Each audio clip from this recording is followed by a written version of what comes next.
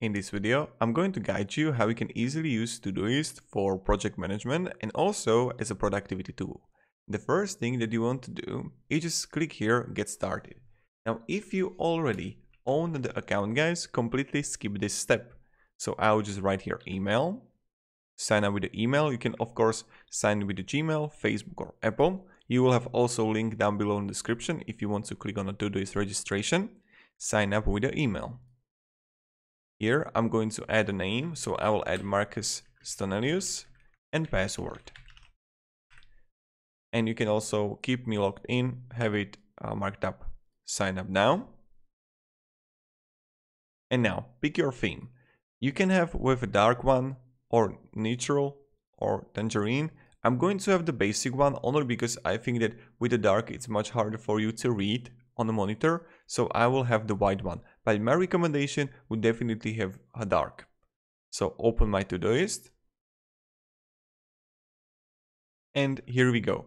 So Todoist is really simple tool.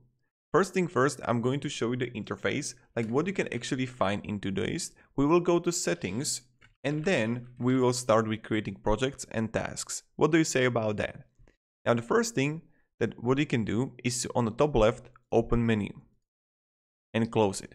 Then you're gonna have the go to home view where you would find uh, today tasks. So when I'm in upcoming, I can click on the next to the close menu home view and this is the home view.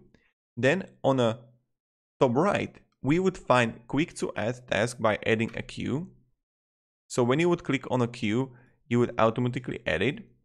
Then this is something called the productivity where you would could add a karma and your goals, what you want to achieve. Then on the top right, you would find notifications. And then on the top right again, you would find next to it your own name. And let's, uh, we will jump straight away to settings in a moment. I want to show you what you can find on the left side, on the left menu, and then we will go to settings. First thing first, on the inbox, you can simply add the tasks here. Then you have today, upcoming, what is happening. So we will be creating like on 1st September tomorrow a task and we would find it right here. Then we're going to see the project as a welcome board. Try boards, we'll be creating a new project. I will show you how you can move them, delete them and everything. We're going to use labels right here and also filters. Now let's go to the top right to settings. So I'm going to click on top right under the name and email settings. And here on the account, you can manage the account and upgrade it. Then you can change your profile picture. You can change your email and password. And you can delete account right here. Under the account is going to be general. You're going to see the language here, the home view. So this is something, when we clicked on the home view, you would see that we were uh, on a day. But what you can do is you can have a home view of your project. So directly you don't have to do a lot of clicks. So let's say that I'm going to have our welcome project as a home view. Update. So let's imagine I'm going to click on the home view now. See, I'm directly in welcome, not on a today. So this is really perfect thing. So let's go to top right again. I'm going to click on the settings, general, and I'm going to change the home view to today again. You can change the time zone, the time format, date format, and also when your week actually starts. And weekend is Saturday. Automatically recognize due date when typing a task, I would have it on. Then, advanced, auto accept invites. So wait a second, I will just go here today, update, advanced, auto accept invites and you can also preview early versions of new feature before anyone else. On subscription, you can upgrade it if you want to. Themes, uh, these are the themes and pro themes that you can use. Of course, they have the dark one. That's why my recommendation to definitely have. Um, primarily, if you're gonna work in a, early in the morning like I do, or um, in the evening. So like right now is 5:47 a.m. because I really like to work uh, in the morning. So I use dark for everything productivity tool. So you're gonna see the Todoist karma here. Celebrating your progress goes a long way toward, towards achieving long-term success. Todoist karma, you can have it on or off. Achieve new levels by earning points for completing tasks, reaching your daily and weekly goals, and using advanced features like recurring due, due, due dates. So this is something that you can have like daily tasks are five that you're gonna have. And you're gonna have more karma the more tasks you're gonna uh, accomplish. You're gonna see also the days off. So let's say daily tasks, weekly tasks, that means 30. And Monday, Tuesday, Wednesday, Thursday, Friday, and Saturday, Sunday are off. You can have also vacation mode. So this is how we can use uh, the karma and set it up. Then you're gonna see the reminders here. And uh, for reminders, you need to upgrade your account and notifications. So you can set up your notifications here. Of course, you can have the backups here and integrations that you can integrate it like with the Google Calendar and other calendars if you want to. So this is pretty much it how we can use the settings and how the interface works. Let's start now how we can add a simple project and then I will show you how we can add tasks, everything. So I would click here on a project on a plus right here. Now I'm going to add in a name YouTube channel you choose yours. And then I got to see the color here. So let's say I'm going to use the magenta. And now you can have the default view if it's going to be a board or a list. Of course, you can switch between the board and the list here. So, but I will have a list for this one. I can add it to my favorites if I want to and click add. Voila, here we are. So now's the question, what you can do with the project you can simply go to top right and you're going to see the comments here for a project. You can share it with other people and you can invite collaborators for this project or you can sort it by a due date, priority, sort, custom sort, whatever. Then you're gonna see also three dots here and you can view it as a board. I will show you how it works. You can add a section for when you're gonna have a Kanban board. It's like in progress finished. You can import it from template, export it. You can also duplicate the project. You can email tasks to this project, project calendar feed, or show completed tasks and archive and delete the project. So let's go now and let me show you how you can easily add a task. So I'm going to click here, add a task. Here, I'm going to add YouTube channels, YouTube SEO description is going to be, okay, for this YouTube SEO, I need to hmm, hmm, hmm, optimize YouTube videos for search on YouTube and I can schedule it. So what I can do, I can have it today, tomorrow, this weekend, next week, or I can have Wednesday first, tomorrow. So that's how we can do it.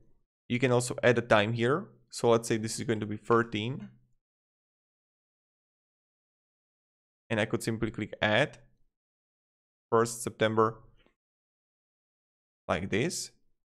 I can select a project to which this is going to be in. Then, as you can see, I can add labels right here that we are going to create. So I can create a label straight away. I will create it here. So I can go and write YouTube videos. This would be my label. And you, as you can see, in the moment when I created a label, it's right here. Then I can set the priority if it's going to be priority 1, which is the most important, priority 2, priority 3 or 4. Let's say this is going to be priority 2. And then I can add a reminder. Of course, for adding a reminder, you need to upgrade your account. So let's click here, add a task. Voila, this is how our task looks like and let's open it. So now I'm going to open it and what I can do, I can simply add subtasks. So let's say for the YouTube SEO, what I need to, I need to update description. And this is how the subtasks works. So let's say the YouTube SEO, that's like how we can optimize it for uh, YouTube. So it's going to be easier to search. So I need to update description for videos and I can add a task. The subtasks work exactly the same way as the tasks. So I would click here, add a task. Up the description, then I would go also and write here, uh, create new titles for existing videos. And what I can do, I can add a task. voila, here we have uh, two subtasks. I can add a comments here and see the activity, what was actually happening on this main task. So here we got it, and we got a perfect subtasks and tasks. What I can do now, let's say this is going to be a new task, YouTube description. No, YouTube script. Again, I can schedule it for, let's say, Friday. And I can again add a label, YouTube videos. Add a task. And voila, as you can see, let's change the priority here on the, on the right side to blue. And what I can do now, in this next part, I'm going to show you how we can easily uh, see the Kanban view and how we can work. Kanban view. So I would go to top right, click the three dots. Here, I would view as a board. And now let's set up the sections here, as I mentioned. So I would click here, add a section in progress. And then I would add different section, which would be uh, finished. And what I could do is simply have a YouTube SEO in progress, C, and this is when I would go to the top right, more project actions, and use it as a list. I can see that in progress, we have our free uh, one task and two subtasks for the main task. So when I would go to the top right again on the three dots, view as a board, and then I can go, let's say this one is finished. So what I could do is simply click on this blue um, like circle and have it as a finished. One task completed. So I can easily use it as a list and I don't see the finished one because I have it as a finished. So this is how you can work with the boards and you can add whatever you want to your boards. That's completely up to you. Now, as you can see, when I will go to the right, I can see show completed tasks and these are my completed tasks. And what I can do is unclick it. And right now it's just in a finished, but when I'm going to click it again, it's right back. So this is pretty much it how we can do it. Of course, you can duplicate the project, a project calendar feed and everything. Now, the next step that I'm going to show you is how we can mm,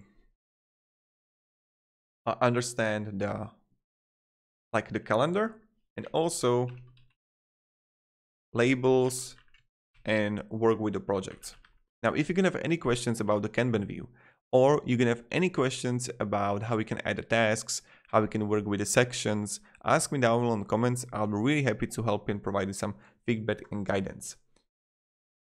Now, first thing first, when I would click here on a inbox, I can simply add a tasks here. This is the inbox that I can add. It will be in an inbox. Let's say this would be uh, my what I have to buy or what I have to do today.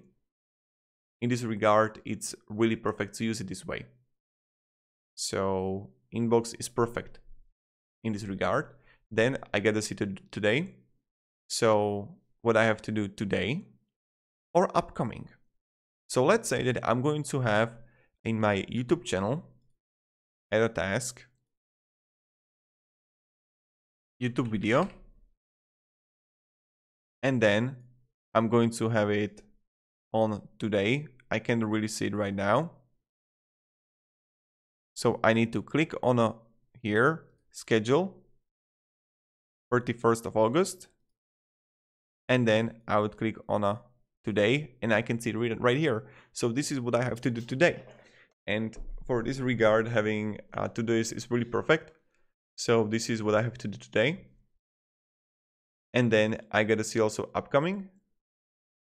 And upcoming, I see that for today, I have to do this video and for tomorrow, I have to do YouTube SEO. I need to optimize YouTube videos for search on YouTube. And you can also simply add tasks based on Thursday, Friday, Saturday. So I can simply click add task here and I'll write a task here. So that's how you can do it. Now, when I go further, I gotta click on labels here and click on label, label name, and let's say YouTube channel and I can have a label color of violet and click add. And now when I'm going to have a new task here, then I would click here. Let's say like this one here. And you can, the one thing that I really like that you can create tasks for us, like subtask for a subtasks. So with subtasks, subtasks, subtasks.